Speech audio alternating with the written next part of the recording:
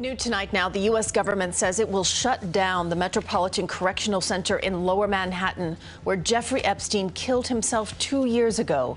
The Federal Bureau of Prisons says the federal jail will close. Not too long ago, El Chapo, the big cheese of the drug world, spilled some tea about this joint he used to call home. Apparently, it's not a tropical resort with five-star reviews, it's more like a torture chamber. And guess another high-profile name who also faced the music in this symphony of suffering. None other than Jeffrey Epstein. In this video, we will uncover the truth behind the MCC and Jeffrey Epstein's time in this prison system.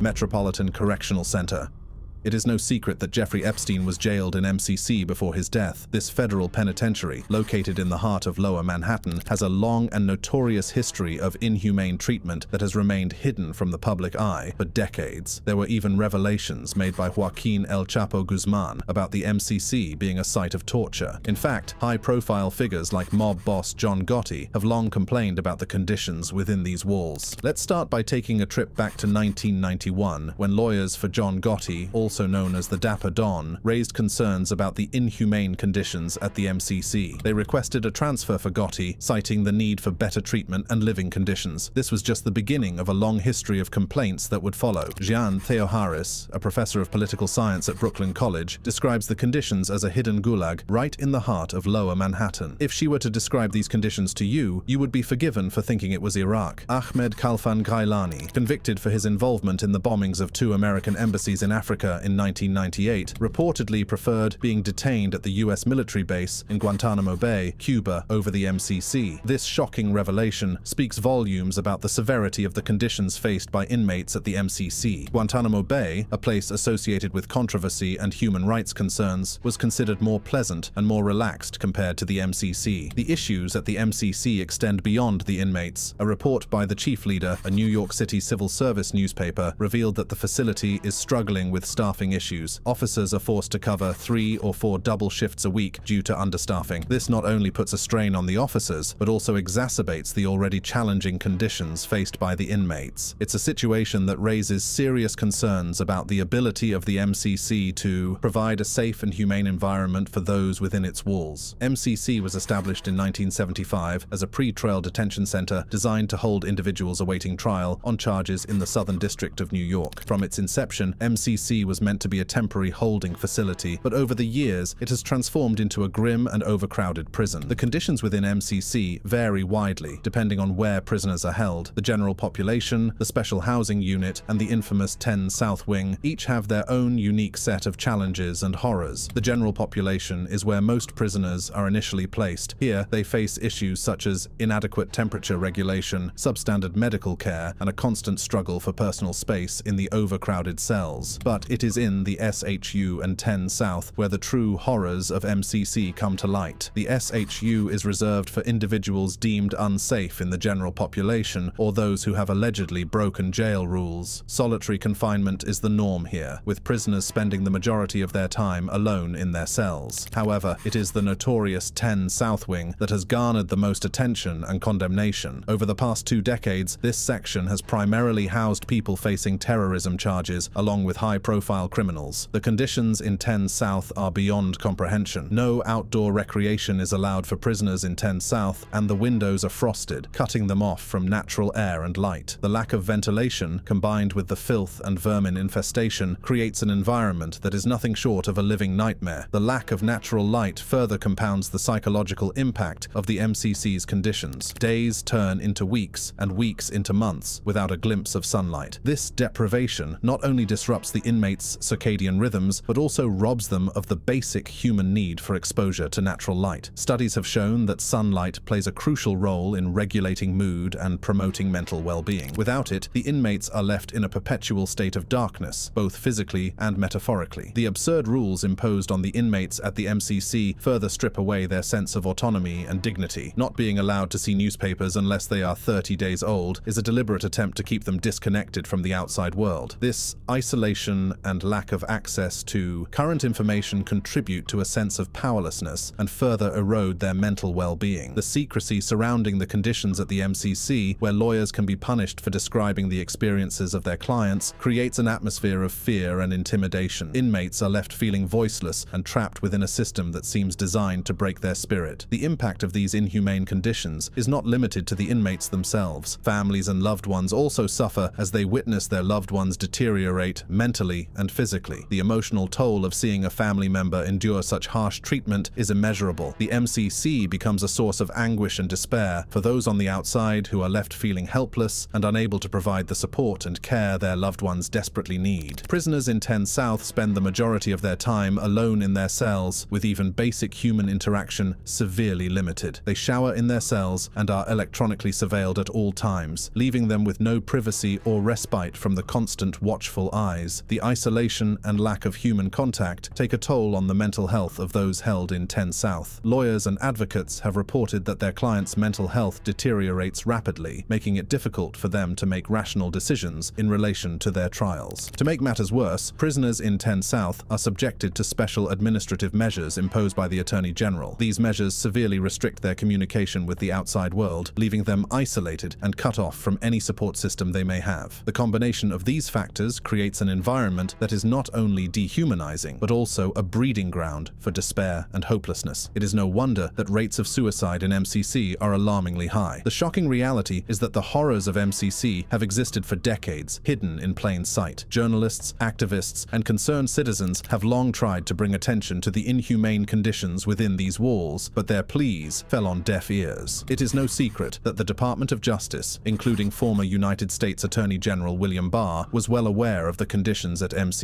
Yet, they chose to turn a blind eye, allowing the inhumane treatment of prisoners to continue unchecked. The scandal surrounding Jeffrey Epstein's death brought the spotlight to MCC, forcing Barr to call for an investigation into the serious irregularities. But let's not be fooled by this sudden show of concern. The irregularities were not a surprise to the government. They were a well-known fact. The truth is that MCC has been structured on these irregularities for years. U.S. Attorney Geoffrey Berman, Barr's predecessor, Preet Bharara, and the judges of the Southern District of New York were all aware of the deplorable conditions within MCC. The federal prison system itself is riddled with such issues. So why did they choose to countenance these conditions? Why did they allow the abuse and corruption to persist? The answer lies in the government's incessant claims of necessity and national security. By invoking the need for national security, the government has managed to justify the inhumane treatment of prisoners at MCC. They have convinced judges and the public that these conditions are necessary to protect society from alleged criminals. But let's not forget that the people held at MCC are still awaiting trial. They are presumed innocent under the law, and their punishment should not begin until after conviction. Yet, they are subjected to filth, vermin, and isolation, all in the name of national security. The government's claims of necessity and national security are nothing more than a smokescreen designed to hide the truth about the systemic failures within MCC. They have created a culture of impunity where those responsible for the well-being of prisoners face no consequences for their actions. The lack of accountability extends beyond MCC itself. Major news organizations have also failed to press the issue, choosing to focus on sensational stories about high-profile criminals rather than the conditions within the jail. Perhaps it is the paradox of a high-rise dungeon in Manhattan's financial district that makes it difficult for people to believe the horrors that exist within MCC. The descriptions of the dirty, decrepit, and vermin-infested jail seem too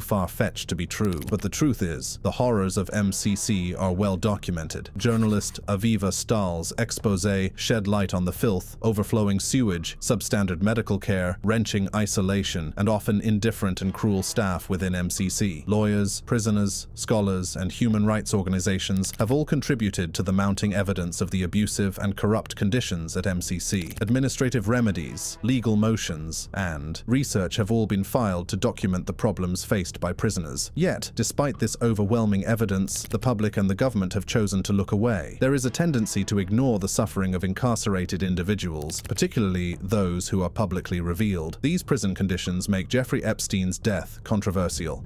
Death conspiracies. Jeffrey Epstein died on August 10, 2019, while waiting for trial. People have different ideas about how he died. Was it suicide, murder, or something mysterious? Let's look at the theories and puzzling details. The official explanation is that he committed suicide by hanging in his jail cell at the Metropolitan Correctional Center in New York City. But many people don't believe this and question the official version. Many people are puzzled about how Jeffrey Epstein, who was supposed to be closely watched to prevent self-harm, could have taken his own life while awaiting trial. Suicide watch is a safety measure for those at risk, involving constant supervision and extra security. Epstein's ability to harm himself under this watch raises serious concerns about the prison system's effectiveness. The situation becomes even more suspicious when we learn that the guards responsible for watching Epstein were reportedly asleep and didn't follow the required checks on his cell. This negligence is troubling and has led to speculation about the possibility of foul play. Guards are accused of faking log entries to make it seem like they were regularly checking on the situation when they actually weren't. This intentional deception raises serious questions about the official story and fuels the growing belief that there might be more to Epstein's death than what we're being told. The autopsy results have also made people skeptical about how Epstein died. Dr. Michael Baden, a well-known forensic pathologist hired by Epstein's brother to investigate, presents compelling evidence that the injuries Epstein had don't match what you'd expect from a typical hanging suicide. Dr. Baden, with his extensive experience, noticed something unusual about Epstein's injuries. Normally, in cases of hanging, a small bone in the neck, called the hyoid bone, breaks, but in Epstein's case, not only was the hyoid bone broken, but other neck bones were too. This is uncommon and suggests a different cause of death. Dr. Baden pointed out that Epstein's injuries look more like those in cases of strangulation, where external pressure on the neck can cause broken bones and other signs of trauma. These findings suggest a concerning possibility. Epstein might have been murdered instead of taking his own life. One idea is that Jeffrey Epstein didn't die by himself, but had help in ending his own life, possibly because he couldn't handle the consequences of his crimes and faced a long prison sentence. This theory makes us wonder who might have assisted him and why. There are also strange conspiracy theories involving the Clinton family, suggesting they somehow played a part in Epstein's death. Some believe that the Clintons planned Epstein's demise to protect their reputation and stop damaging information from being revealed. Some people believe that Epstein had damaging evidence against the Clintons, suggesting they were involved in his illegal activities. This theory proposes that Epstein's death was a deliberate plan to keep him quiet and shield the Clintons from potential legal trouble. Epstein's situation gets more interesting because his cellmate when he died was Nicholas Tartaglione, a big guy who used to be a cop and was accused of murder. It's strange because they seem like an unlikely pair. Some people think Tartaglione might have had a role in Epstein's death, maybe as a helper or to keep him quiet. Now, think about Epstein's private island in the Caribbean called Little St. James Island. He's said to have done illegal stuff with underage girls there. The island is mysterious, with talk of secret tunnels and hidden rooms. There's a mysterious blue-striped building in a lush area that catches attention. It looks like a temple with a golden dome, sparking many theories. Some think it's a music room for a pianist, while others believe it hides an elevator leading to a secret underground spot. To unravel the mystery, a contractor who worked there shared insights. He doubted the elevator theory, but noticed something odd about the temple's entrance. Instead of a lock inside to keep people out, there's a massive lock bar on the outside, making it seem like it's meant to lock people inside. Why did Epstein go to such lengths to secure it, possibly trapping people inside? These questions make the island and its owner even more intriguing. The temple symbolizes hidden secrets waiting to be discovered within its walls. Epstein was known for liking treasure hunting. He generously rewarded his staff if they found something valuable on the island, offering anywhere from a few dollars to a thousand dollars based on the item's importance. His employees became enthusiastic treasure hunters, exploring every corner and finding old items like rum bottles and plates left behind by previous inhabitants. These artifacts from the past fascinated Epstein. Why did Epstein love treasure hunting? Some think it was a way for him to escape from his criminal life, a temporary break to enjoy a more innocent activity. Others say he saw himself as a modern pirate, trying to get wealth and power through illegal ways. No matter why he did it, his interest in treasure hunting added more mystery to the island's story. It portrayed Epstein as someone eager for adventure and wanting to uncover the secrets of the past. Some folks believe Epstein might have used these secret places to run away and fake his own death. They wonder if he might have faked his death by replacing his body with someone else's. Epstein had the resources to pull off such a plan. There are even claims of seeing him alive after his supposed death, like footage from a drone showing a person resembling him on his private island. Though these sightings aren't proven, they contribute to the conspiracy theories about what really happened to Epstein. Some people think that Jeffrey Epstein might have had connections connections to Mossad, the Israeli intelligence agency. They believe he could have been working as a spy, using his friendships and power to collect secrets about important people. This idea proposes that Epstein's death might have been faked to keep those connections safe and let him carry on with his undercover work.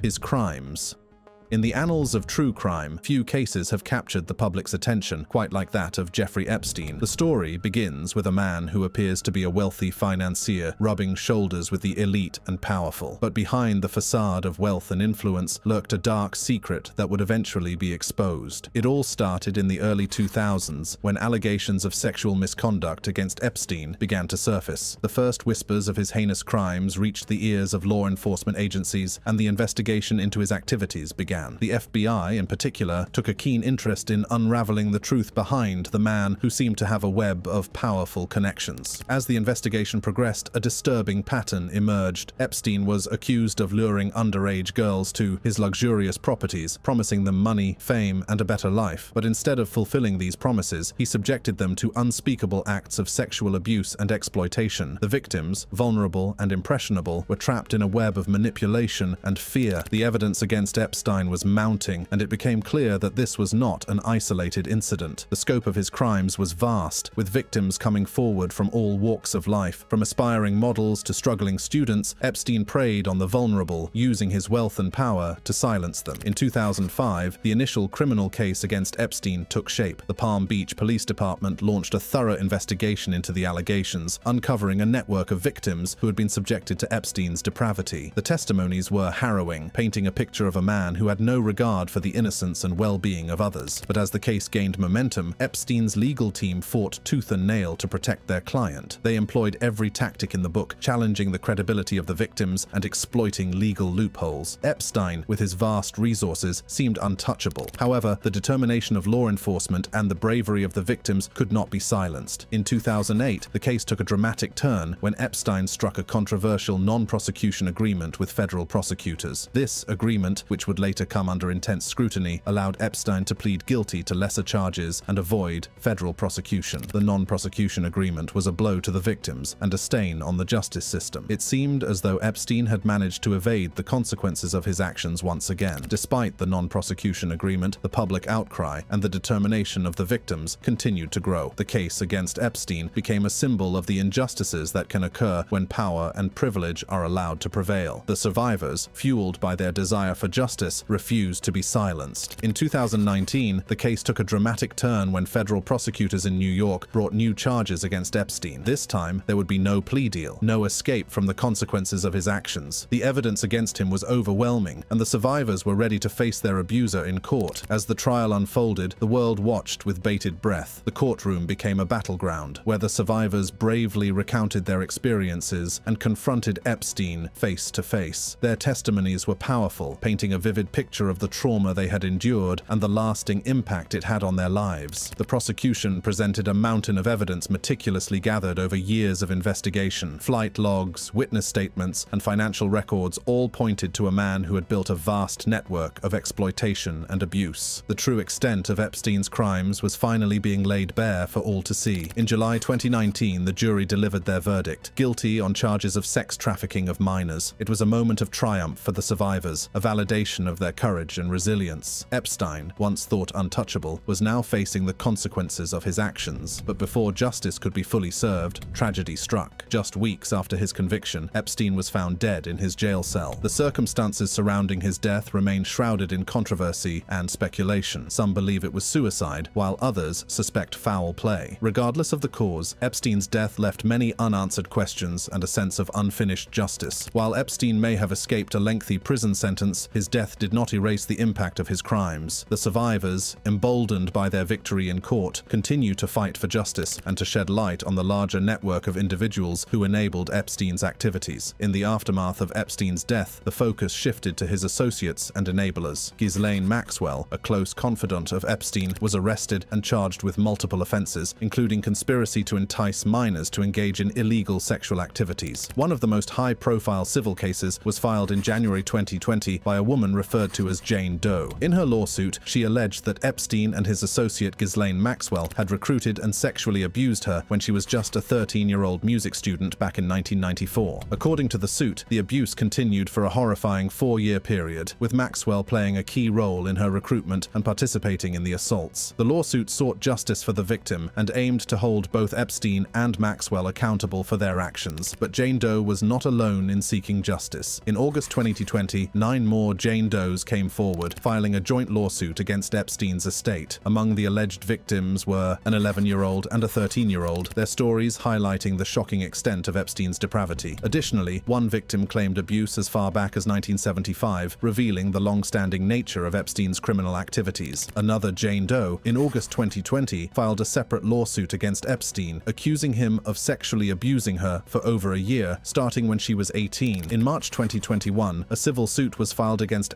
Epstein's estate by a woman from Broward County, Florida. She came forward, accusing Epstein and Maxwell of trafficking her and repeatedly raping her in 2008. Her lawsuit sought not only justice for herself, but also accountability for the individuals who had facilitated and participated in her abuse. The civil cases against Epstein and his associates have brought to light the extent of his criminal activities. They have provided a platform for survivors to share their stories, seek justice, and hold those responsible accountable. These cases have also exposed the larger network of individuals who enabled Epstein's actions, raising questions about the collaboration of the powerful and influential. In addition to the civil cases, the US government took action against entities connected to Epstein. In 2022, JP Morgan Chase Bank was sued by the government alleging that the bank had facilitated and concealed Epstein's human trafficking network. There's a serious claim against Jamie Dimon, the CEO of JP Morgan Chase. The allegation is that Dimon might have known about Epstein's illegal activities and might have helped him through the bank. This information came up during a legal case in the Virgin Islands, where JP Morgan was accused of assisting Epstein's illegal activities for more than 10 years. In a hearing, it was mentioned that emails suggesting money transfers from Epstein were waiting for Dimon's approval. These emails are important because of their timing. They were sent in August 2008, just a few months after Epstein admitted guilt in Florida for illegal activities involving a minor. This was Epstein's first legal trouble, leading to him being labeled a sex offender. The concern is that Jamie Dimon, who was supposedly checking Epstein's account around this time, might have known about Epstein's crimes, raising questions about what Dimon knew and if he was involved. Now Dimon is under more scrutiny because the government of the Virgin Islands is investigating him. They have the authority to look into what he knew and when. This investigation is happening at a crucial time for JP Morgan. The bank recently accused one of its former executives, Jes Staley, of any wrongdoing related to Epstein in a legal filing. Staley, who later became the CEO of Barclays, resigned